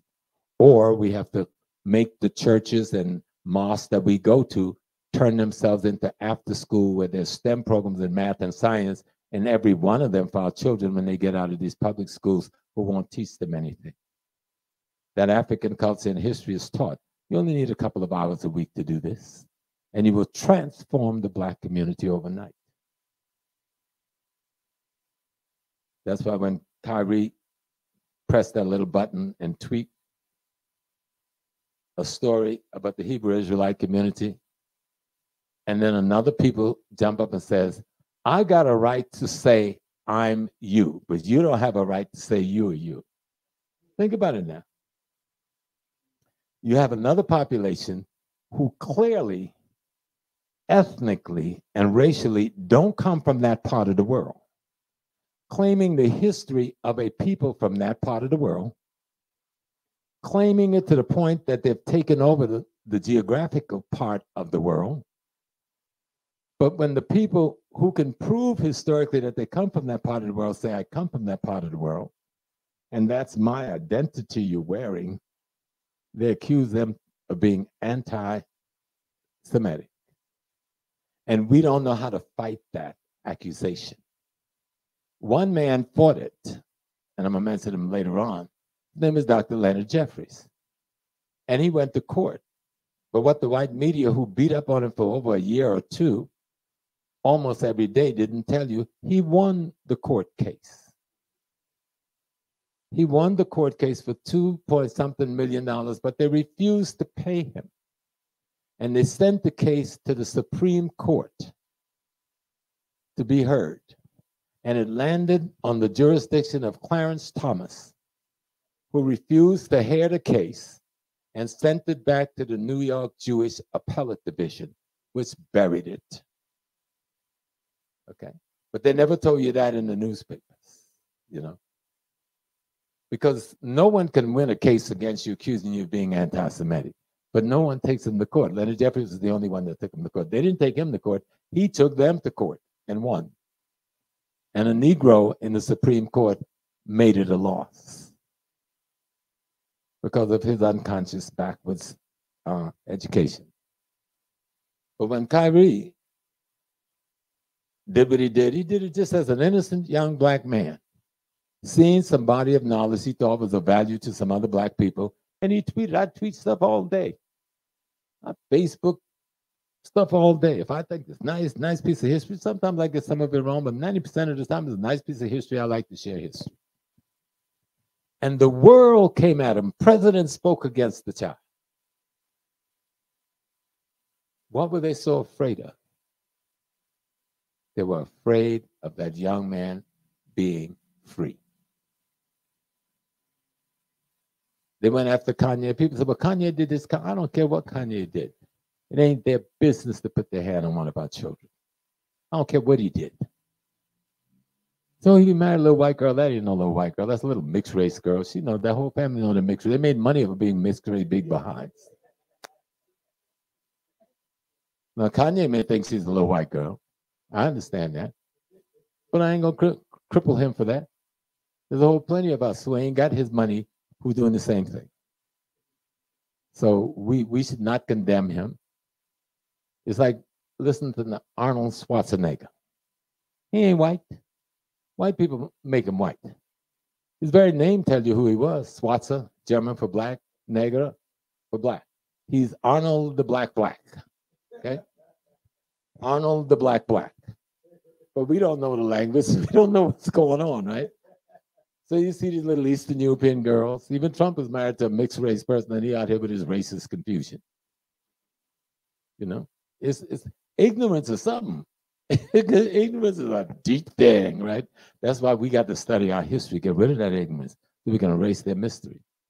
But all Kyrie was trying to do, and what they were trying to do, is saying you do not have the freedom to express yourself. And we're going to show you, but okay, how much money you're making for us? Then they're going to try to humiliate him. You got to give money to the ADL. That's called extortion. But nobody called that extortion. The white man who's selling the tape, nobody criticized him. What's his name? The from the Jeff Basil, Bezos, Mr. Basil. He's selling the tape and say he ain't gonna stop selling it, making big money off of it. No one has criticized him. If they've done it, they've done it on the down low and they come to crucify one of our children, and we sitting back, some of the black ball players stuttering or criticizing that child with no integrity to show for the, the, the so-called persona that the Shaq have and, and, and, and the other one in Cleveland have. I don't know. I don't even watch ball game. I don't play that. I played in high school and I played in college, and then I realized reason I got a bad knee today is played in high and I played in college. You know, but we didn't handle that right. I spoke out. Minister Farrakhan spoke out, and some others spoke out. And some of them, I heard that the young man in Cleveland did reverse his position. So I, I James, his name. So that's good for him because I was proud of him. I go to Cleveland all the time. He does a lot of beautiful things out there for black children. So he got caught by his handlers coming and say, read the script but he seemed to turn himself around. But the point is, And when it comes to Kanye, if I don't watch much follow, but I'm on Facebook and, and Instagram and Twitter every day. So I'm hearing what the young people are saying. Three months before that incident happened, Kanye was talking about how could he break the contracts, right? And this is carried all over Twitter. It was a conversation. Now he never said death to Jews. Let me know my time, son. Let me you know, do that little five finger thing. Okay. So Kanye, I served in the US Navy. We had a term called DEFCON. DEFCON 1, that means the threat's coming after you. DEFCON 2, that threat is getting pretty serious. DEFCON 3, the threat is imminent, defend yourself. That's what he said. He said, I'm going to go death DEFCON 3 on these Jews that's after me, meaning that they're coming at me with such a fierce danger I'm going to mean protect myself. That's what the word meant. I'm going to protect myself against this threat coming against me. And when the media came out and said he said death, he was protesting over and over. That's not what I said. And they didn't care. They did not care. Why? Because they realized that he was going to break away from them no matter what. So they decided you can break away, but you will not break away with the billions. You'll not have that money to go out there and do something black with. So we coming after you. And so I call it an economic attack on the black community when they attack Kanye. They said, oh, you want to break away? Well, we're going to take all the money we can. But here's what they didn't tell you. In the run up, they could take the money back when they break the contracts. But guess what? They broke the contracts. So guess what they got to do? Pay Mr. Kanye. That's what the media is not saying, because he didn't break the contract. They broke the contract. Now he may never get his money. You know what I'm saying? They may tie him up in court for eternity. But we better be listening to the drum beat and not be fooled by little actors playing news commentators at six o'clock every day. Do our research and see what's the real deal. Because a young man wanted to be free. He isn't the first one. Ray Charles did it. And thank God he was relatively successful. Otis Redding tried. He died in a mysterious plane crash. Sam Cooke died and he was murdered and slaughtered in a motel. If you even look at the life of Nat King Cole, because we don't study history, so we caught up in their mystery. Nat King Cole created a whole slew of record labels and a whole record company in Mexico then tried to bring it back to America when he got his mysterious cancer that took him out like that. James Brown set up his record industry in four different places I think Detroit, New York, and somewhere else. Baltimore. And his son, he sent to college. The boy just finished his master's degree when he got hit by the tractor trailer truck on the Jersey Turnpike.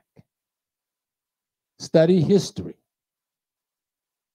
Tupac Shakur, Biggie studied history, followed the bouncing ball. They were trying to take over distribution of rap music. And all of a sudden, the media start talking about this fight between East Coast, West Coast. All right. And I spoke to the young man. I spoke to Tupac. Because you say, I, don't need to big up the Tupac name. I'm bigger than Tupac ever was. Yes, I am. I've been out there for 60 years. I'm the heir to Malcolm X. I never even have to talk about that. When he was assassinated, I'm the guy that became the imam at 21 years old. If I want to play big up, I got the big up to play with. But no one has ever used me that to raise me up. I've walked on my own energy, you know. And I spoke to that young man two days before he died when he called my house because they wanted a meeting with me when they left Las Vegas. And he told me what they were doing. And I told him that how dangerous it was. And he said him and Biggie understood, but he wanted me to understand that the rift between him and Biggie was made up, and that was not them. And that they were fighting to get control of the distribution of rap music. And then they said they had other brothers who was working with them. They were recruiting other young people. And I remember right after he got killed, his cousin and another brother got killed in Jersey about a week later. And that went kind of like under the radar a bit, right? But for the same reason, they went after Kanye. You know, they said, We're not going to let you take control of this lucrative industry that makes billions of dollars for us every year. Billions of dollars. You think somebody, you know, when you talk about killing of Malcolm X, let me show you something. Somebody said, Brother Minister Malcolm X, what do you mean by black nationalism?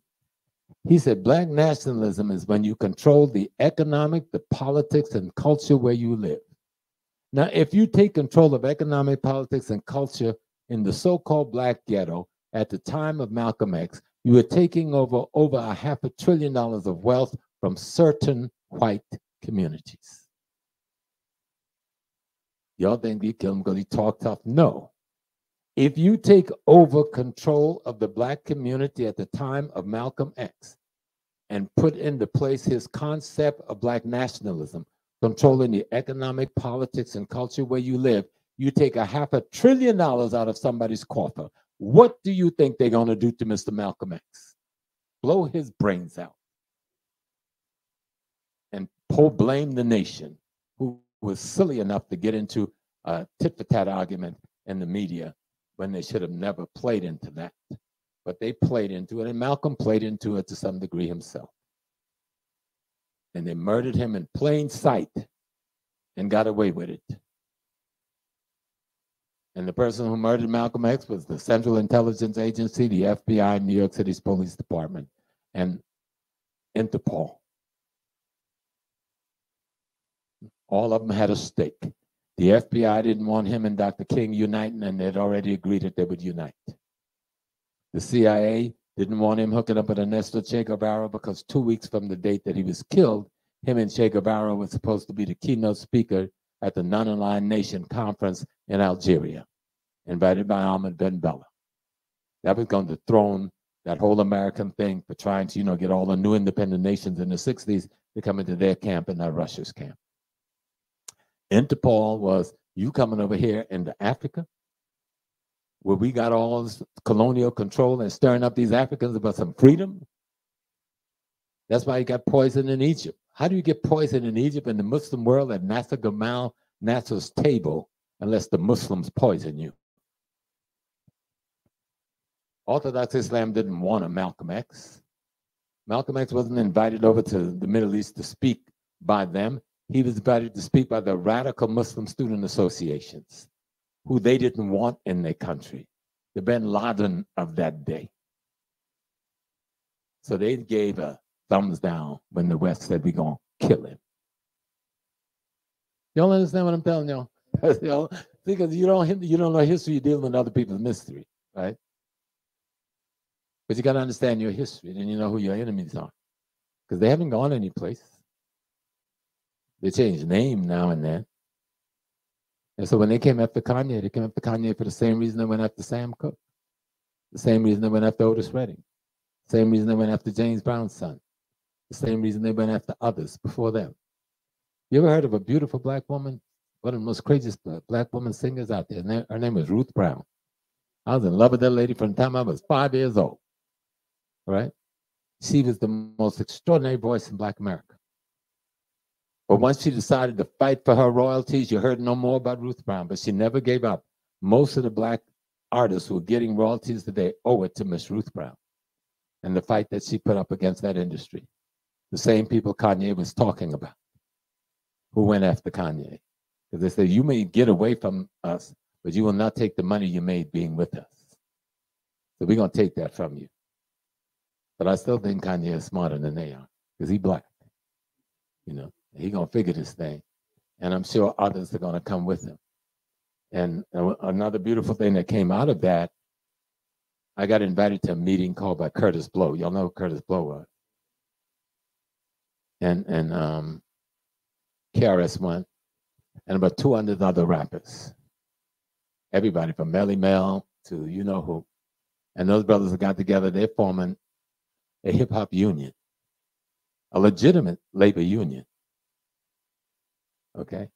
It'll be the biggest labor union in America if they're able to pull it off. And they're trying, they're getting very close with it.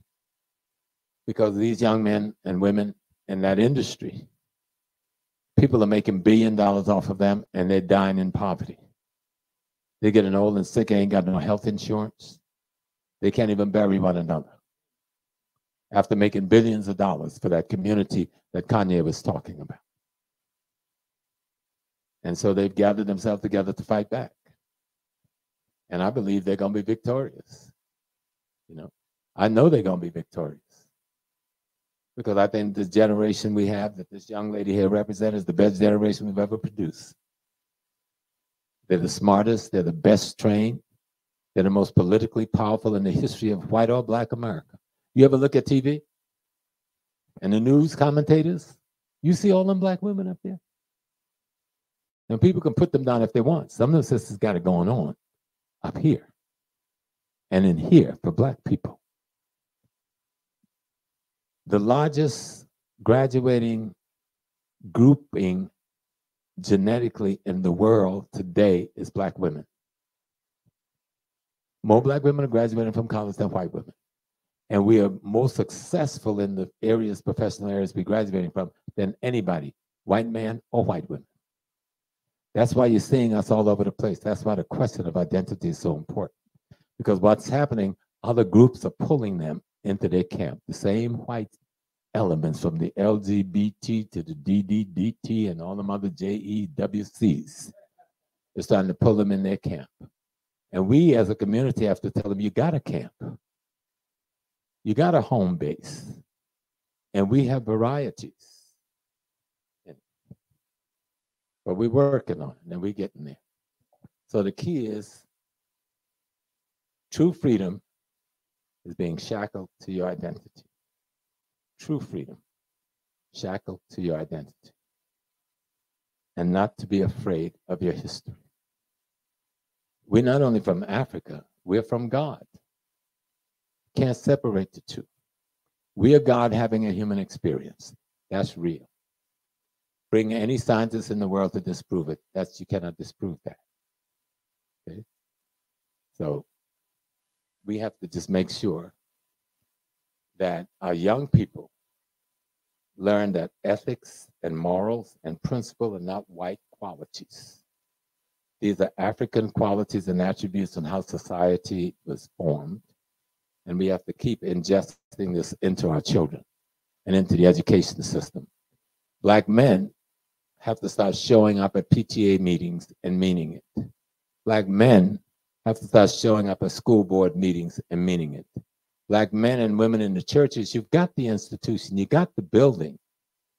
Set up the classes, the STEM classes, to two days a week for our children, science and math. That's all they need.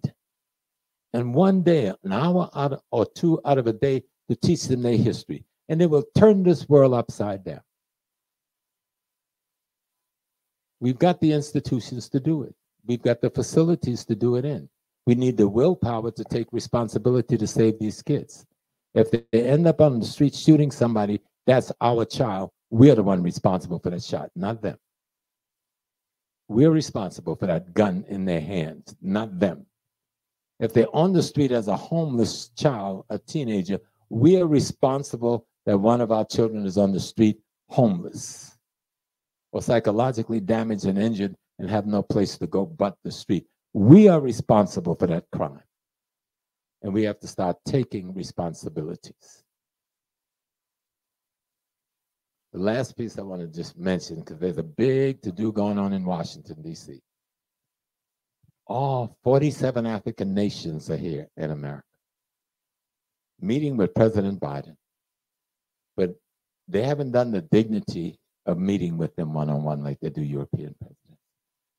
47 African president, but there's no steak dinner at the White House. That's crazy. But let me just give you just a couple of stats, and then I'll end this and take some questions.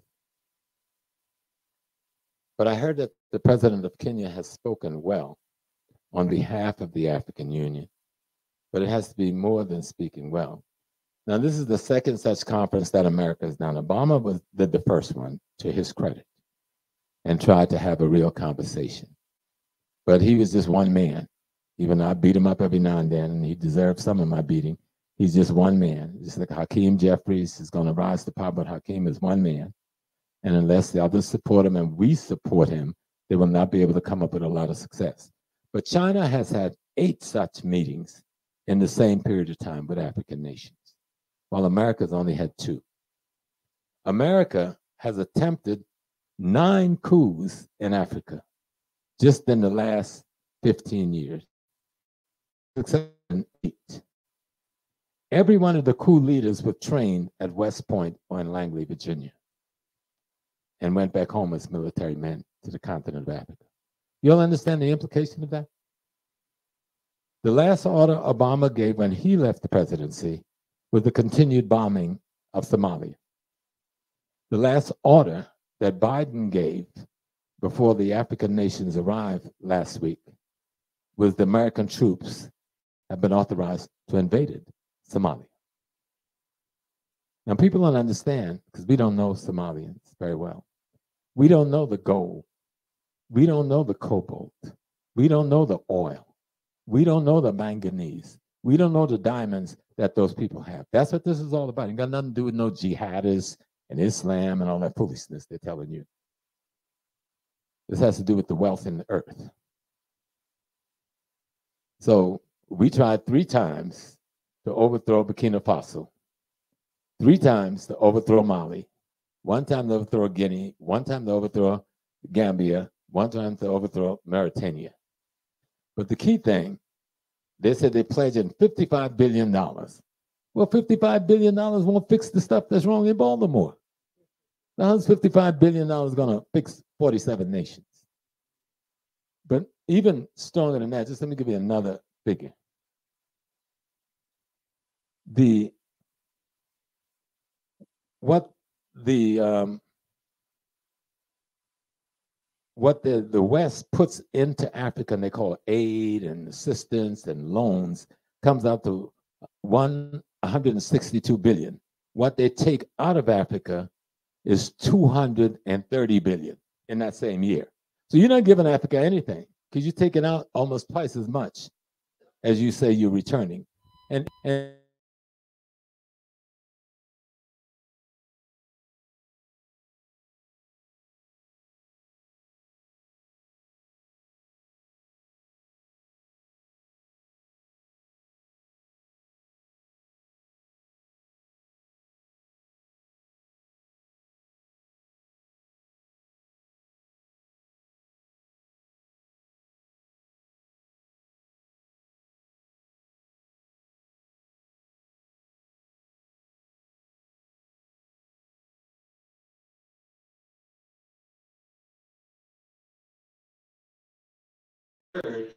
of your back, your payments gonna be servicing the debt that you just borrowed on, on some money you can't even put in your own banks. That's what they're talking about, even with that 55 billion. That's what we're dealing with. That's what has to change in Africa. And if we don't understand that, understand that Africa have 30% of the world resources of mineral. It has 12% of the oil, 8% of natural gas, 40% of the world's gold, 90% of the chromium and platinum. And you can just go on and on with manganese, with uh, the thing for the cell phone, we got almost 100% of that. There's only one other country that could even touch that. And that's what this discussion is all about. So we're going to invite you to be on the G20. Why? So we can rob you right to your face. So we can rob you right across the table from me now. I don't have to rob you in secret. I'm going to bring you right here and rob you. And then they're offering, I heard that he's going to suggest that he's going to recommend that they sit on the Security Council. Now, the Security Council has the veto power over everything that the General Assembly does in the United Nations. And there's no African that has a permanent seat on that Security Council. So that would be an advantage because if you get the permanent seat, then you have veto power. But then it depends on how many guns is at your head when it's time to make the veto. So we have to, as we watch this discussion going on and all the stuff going on in Washington, we have to consider just those few points I made. You know, China is no better. Now, China is there as our friend, but China does give us a better deal. Okay? Russia is not there as our friend, but they do give us a better deal. And I'll end it's like, see, America coming in and they'll find the most corrupt person who have trained in America, who've been in the college in America, they'll overthrow somebody, put them in government, then cut the deal with them, knowing they're going to steal all the money because that's their instructions. Whereas China will come in and try to kind of deal with the government and make sure that the government delivers something to the people. So if you look at some of those contracts China negotiated, you see hospitals being built, roads being built, dams being built, railroads being built, bridges being built. If you look at the contracts that America's negotiated, nothing is being built. And what little gets built is so inferior, it's messed up in three, four years. But we as African American people have to take more onus for what these people are doing in Africa. We have to take some of the onus and speak out against it. And let the world know we know what you're doing. And it's not by not gonna do it in my name. Otherwise I have something to say about it. So I hope I at least said something to you. I wanted to deal with that issue of the Christianity and the hiding of our African self. Because how can anybody come and see 60 to 80 million Africans and say y'all not Africans? Then some of us get confused and say we're not Africans. Where did you come? Which part of the moon did you come from? but we have to be able to make a stance for our children's sake on their African identity. And you have as much right to say you're an African American as a Yoruba has to say I'm a Yoruba Nigerian, or as a Ghanaian, Ghanaian has to say, or Ashanti say I'm an Ashanti, Ghanaian, and African. You can be African American and African. Someone from Trinidad could be Trinidadian and African. Someone from Jamaica could be Jamaican and African. So why can't the African American be African American and African? Why people keep playing with our identity issue? Sure. And then we get caught up in our fears and ignorance, and we play with our identity issue and unless you got an identity that you've agreed upon, you don't have the unity that will allow you to spend $1.8 trillion wisely. We spent $1.8 trillion making Arabs rich last year, Koreans rich last year, Indians rich last year, Jews rich last year, white Catholic rich last year, and on and on. And leaving the African American impoverished in the economic marketplace because the dollar didn't get the turnover twice in our community for the most part. And we have to make some different and better decisions. Look on me. You belong to me, I belong to you. If you don't belong to me, my money don't belong to you. Easy decision to make. Love thyself. You can only love yourself if you know yourself. And one of my good friends, she was my friend as an ancestor, Zora Neale Hurston, says, to be there, you got to do what, brother? You got to go there. But to go there, what do you have to do, sister? You got to know there. Mm. So to be there, you got to go there. But to go there, you got to know there. So I'll leave you with that. Thank you very much. Okay.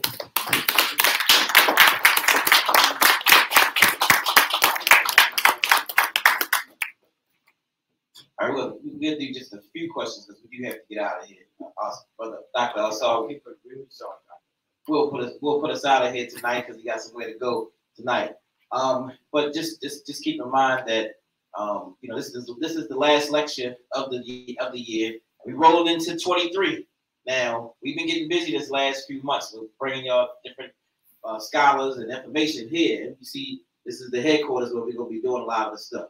And you know, we've never had sponsorship from anybody. You know what I'm saying? Well, you know, besides in the black community, we, have, we, never had major sponsorship for these lectures at all. I built a relationship for 27 years most of these lectures, so they'll come for me. And you know what I mean? Where you know, you know, other folks call, you know what I'm saying? They're gonna they're gonna give them a certain amount of money. You know what I mean? Like, all right, what you need? What is you know what I mean? And they will come because I have built a report for them all through the year. So if you can make a donation, it's the last lecture of the year.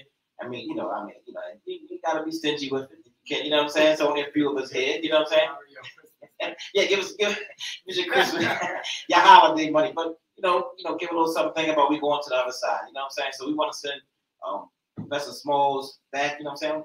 You know, with a few few dollars in his pocket. You know what I mean? Some things that he can have. You know what I mean? So we're gonna be able to you know bless him with that. I know it's a few of us, but some of y'all here might be a millionaire here hiding around. and might got a couple dollars. Say, you know what? I get it. You know what I'm saying? I'm gonna write this thousand dollar check here today. You know what I mean? Hundred dollar, hundred dollar check with fifty dollars, whatever you can get. And if you need a cash app, just let me know. Also, the food, the food that's prepared, we have done not done the best because sometimes we've done lectures and haven't had food. People act ridiculous, right? So the last three or four lectures that we've had here, we've please get the food and get your dinner for tonight. Um, for tomorrow, please, you know what I'm saying? Um, going back to sisters prepare, prepare food. We want to get rid of that food, you know. So um, please support and buy your food, and then we're gonna get up out of here, y'all. But uh, just one or two questions, and then we're gonna get ready to get up out of here. Go ahead. Go ahead first here, bro. Yeah, uh, speaking Hold on. microphone. microphone. This one? Okay.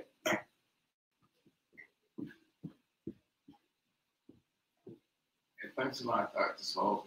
Appreciate your lecture. Uh, you said something about religion called uh, something Dr. Donna called so class. Said we go in, we go in the back door of religions asking the latecomers for permission to enter. Yes. That.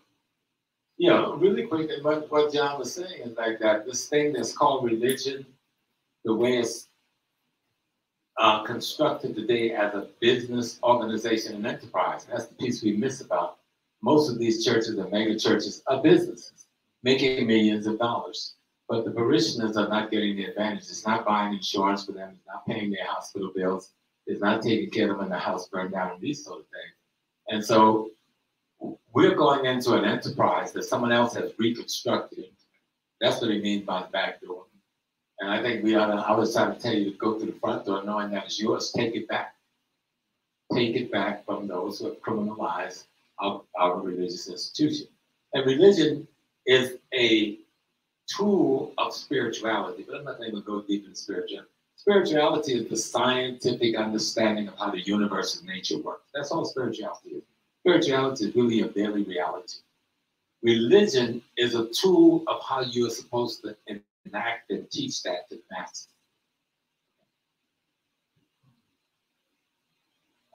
My, my question was, uh, This one online, I know you got loud voice. So I'll make it more like- Hi, my question is, uh, when you talked about your awakening about the African American, uh, what was your study point? What was your focus to help you start to study and break down? I don't have one of those. I'm I'm born in that. I'm from the I'm a Freewood, um N word is what they used back in the day. That's the in the Caribbean you call that the maroon community. I'm from a place they call today Burgess in South Carolina. But when I was a child, it was still called the Freewood. That's the area we dominated from slavery that we ran away to. And that's where the Smalls come from. And you'll see us all through the history of South Carolina. That's just at the end of the Civil War. We were free Freewood Negroes. They used another word to describe them back then. But I'm from both sides of my family is from maroon communities. Both sides. And my grandfather was the head of the Prince Hall Lodge. And my grandmother was the head of tennis. Just real quick, um, the Woman King, um, the one thing was that um, just real quick, uh, feminist agenda or whatever. Oh, that's when I heard that discussion. That was the craziest discussion, but I almost got caught in it. I made a statement on one show before I went and watched the movie. So the next morning I got on my bed, first thing I did, I went and watched that movie. It is the most. Remember, it's a movie. Right. It's fiction, but it is fiction that's depicting aspects of our history. That's what most movies are. That's right. But none of them are history unless it's a documentary dedicated to the purpose of being a documentary. That's not what this was. This was a movie showing a facsimile of powerful black women. That the Dahomey Kingdom was involved in slavery some period of time, that's been known throughout history, but most of the history of Dahomey was not involved in slavery. Okay? And for that, and what people I see trying to do is acting like that. If you look up historical Dahomey, it wasn't big as Baltimore. All right. Now people want to make it into this big slaving kingdom. That's not true. That's a lie. Most of the history, and Dahomey was responding to Oyon, which was another kingdom that was involved in this process that they were fighting against. So that's why you got to study the history, give it a mystery. The movie itself was about the strength of the black woman. That's not a myth. Dahomey had an army of black women that kicked ass coming and going. No one could beat those sisters until the French came in with the Gatling gun. Hmm. And, and, and that's what, you know, that, that last, the name of the last battle, they killed hundreds of those sisters. But here's the kicker. It was those women, according to Isole Danto and the Free Haiti movement, I trust her research impeccably. The lady who raised Jean-Jacques Dessalines was one of those women. Okay? The women who end up giving us the Haitian Revolution was those women who the French put in slavery.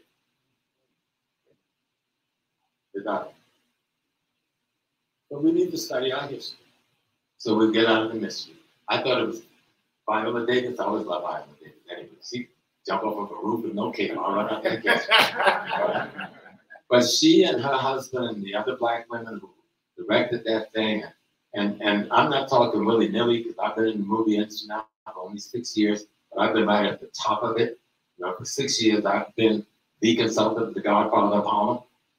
Okay, and I'm in. The, I'm at every shoot every day, all day, with the directors, with the executive producers. Every script that gets written, I get to read before it gets to the director. So I got a sense of what you're gonna go through to make a piece about your people when you're trying to fight in another culture, even when they mean well, they cannot interpret our cultural response, even in fiction. So I thought and did a wonderful job because my goddaughter, her name is Queen Diambi. You know who Queen Diambi is? Anybody know Queen Diambi? Queen Diambi has taken the throne of Nzenga six years ago she is the king of the Congo, not the queen of the Congo, the king of the Congo, the king of the order of the leopards. Nigeria have five female kings right now. So women kings is no anomaly to Africa. Hatshepsut was the king of Egypt, and she was a woman. So Africa having women king, then you know that's only news for people who don't know study history, race and mystery, you see all the beautiful women kings of Africa. And we still have them today. But the story was about the integrity of black women. It's about a woman who had been raped and misused. Doesn't matter whether people her with black or white. Okay? And she had to go through the same trauma any woman had to go through that kind of rape and misusing do. And being a part of a society where she couldn't even own her baby and she gave that baby to a friend to dispose of.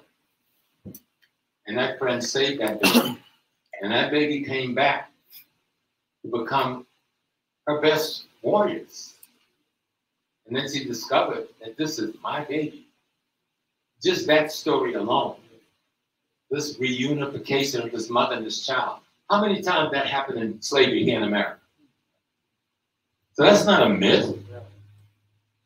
Many of the scenarios we saw in there is not mythology. The young mulatto African who fell in love with the young girl.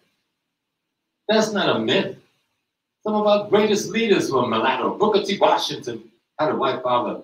W.B. Du Bois, um, Frederick Douglass. And we can go on. So let's stop playing with our minds. Let's hmm. study history. Sure. And then we'll see that what they were saying, many of the scenarios were real. It's just mythical in terms of the framework they set. But in that mythical framework, they made reference and an allusion to an African experience that happened in a particular part of Africa. But when you study the history of Benin, it isn't just all about slavery. We took on the French like mighty men and women. We just didn't have gun technology and we lost. Ashe, Ashe, you want a big round of applause?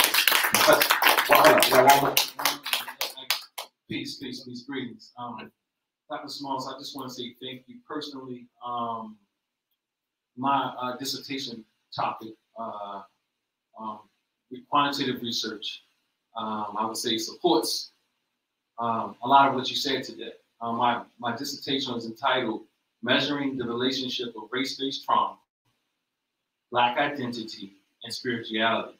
So Um, I, I really um, appreciate all that you said because there is a lot of confusion on uh, how we identify on various levels religious, spiritual, um, how we identify what black is. And uh, my research supports a lot of what you said. So thank you again. Thank you. What's funny, you know what? The word post-slavery trauma was coined in Baltimore by myself and Patricia Newton in 1992. We were going to the community college. We were just passing John Hancock. And I was telling the sister about some young women in my class who had been abused.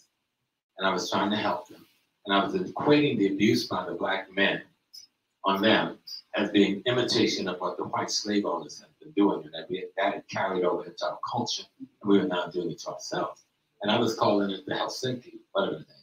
And, and Pastor well, I'm dealing with some homosexual black men who have been abused, and in a counseling program she had. And that's the first time I heard post-traumatic stress. So we then married the two things. Instead of post-traumatic stress, we came up with the term post-slavery trauma syndrome. Mhm. And that's how that word was born in 1992, right here. And other people have taken and written books and other things about it. But Pat and I have been lecturing about it since 1992, trying to describe what you're talking Ashe, Ashe. Big round of applause again. So don't forget to buy all the food that you can buy. Now let me just a shout out just real quick. Um, uh, just a, just a few people here. You know what I'm saying? And one of my good friends, brother Earl, that's here. You know, I said, uh, brother Smalls will support me a lot. This brother been by my side every time I called him. You know what I mean? You know, for moms, I mean, he called every day. You know what I'm saying? Like, hey, bro, how you doing? How's everything going? I appreciate this brother. You know, for being him his queen for being here and being supportive. You know, what I mean? so give him a big round of applause. You know I mean? Mike has a business also. He has a pest control business. If you have problems with him, pests or whatever, you know what I'm saying? You know, holler at the brother, he can give you a call. Um, also, um, Baba Issa in the back, you know, I always call him out. Baba Issa, my, my, my great elder who's grandfather, the uncle, and all that, you know, just still comes and conscious his barbershop and loves to debate all day long, you know, with the brothers. Brothers there, we love him, and this brother's been by my side every step of the way. And uh, Mr. Dennis that's in the back, right there, there's a bunch of other Dennises in here. Mr. Dennis is in the back, um, who's the father, who's, who's, who's a, a great brother. He's uh, the father of one of my very best friends growing up, and my one of my very first business partners that I've had also. But his son, uh, great brother, he's a football coach. Taught me how to play football. Taught a lot of people around the neighborhood how to play football. You know what I'm saying? So just want to acknowledge that this brother's here. He's been a major portion part of my life also. Him and his queen is here also. So appreciate them. Give them a big round of applause also. So I just wanted to shout those people out. And my little queen, Kamaria, who's 17 now. People don't know, oh my God, that's the little Kamaria. You know, she was a baby girl, but she got bumped a couple years ago by my, my three-year-old little, little girl and little Jabari now. You know, so, so now she was the baby girl, now she's the middle child now. so, you know, so she's she slid down. But, but we could let's stand for the Harambe's. And don't forget, you don't have to, you got cash, you can see me, or you can see Kamaria. And if you need the cash app, then I, I can give that out to you, the cash app. If you come to me, you want to get the cash app. All right, let's do that. We're gonna close out with the Harambe seven times. Let's mean mean let us all pull together in Swahili. All right. We may be having a Kwanzaa celebration um the 27th. I don't know. We'll, we'll send an email. If I don't have your email, make sure I get your email so we can get you on the email list. All right. So one, two, three. Harambe! Harambe! Harambe! Harambe! Harambe! Harambe! Harambe! All